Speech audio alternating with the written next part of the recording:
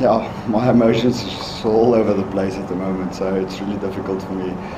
Um, coach has been like a father to me. He's, he's a mentor. He's, he's one of the greatest, or greatest coaches I've met in my rugby career. He's taught me so much, and uh, I believe it's for the rest of the guys the same. So um, we're not going to be sad about it. We're going to celebrate him tonight, and. Uh, we're going to make this night special for him. Although we couldn't get the trophy for him, um, as I said after the game, it was never about winning and losing. It was about glorifying God. And I really believed we inspired people in a way tonight. But um, yes, we're really going to miss him, and he's, he's probably one of the best coaches in the world.